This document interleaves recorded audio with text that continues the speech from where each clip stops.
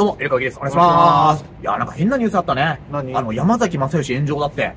おお、福耳の。うんあの、山崎正義、菅氏顔、京子などからなるユニット、福耳。いや、誰が覚えてんだよ、お前。間違ってないいや、確かに一時期あの時人気あったかもしんないけど、これ変なニュースなってんだよ。ん。山崎正義さん。は、うん。まあ、水戸で行われた公演で、うん。今日あんまり歌いたくない気分だっつって、うん。ほとんど取り留めのないトークして、うん。歌が聴きたかったお客さんに返金する騒ぎ起きてんだ、今。またそんなことなってんの？うん、あの、やま、それ、歌よりトークの方が長いことで知られる、さだまさしをファンが呼ぶときしか使わないあだ名、マッサン。いや、誰がわかんないよ、お前。そ。んなことしてんの？マッサンなんて呼んでないだろ、お前普段。え、マッサンじゃあ炎上してるってことマッサン炎上しねえんだよ、お前。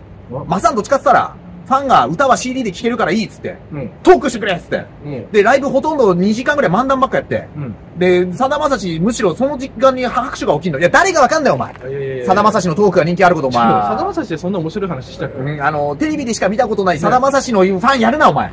テレビでしかさだまさし知らない人の感想やめろ、お前。俺ファンとは言ってないですけど。俺怒られるから。ァンってツッコミおかしいテレビでしかさだまさし知らない言ってないから人がやってて俺。やめてよ。知らないの？何をさだまさしの？トーク大全って CD が全18巻出てて、うんアマゾンで在庫切れで手に入んねえんだよ、今。そうなん。落語みたいになってんだから、本当に。ーな違う、でも山崎正義さんだよ。これがね、一部変な格好もあったね何。普段歌いたくないとかも言わないらしくて、うんなんか変な薬やってんじゃないかって勝手なこと書いてる人がいるんだよ、ちょっといや、マジ心配になるわ。うん山崎正義。誰がマーシーって呼んでんだよ。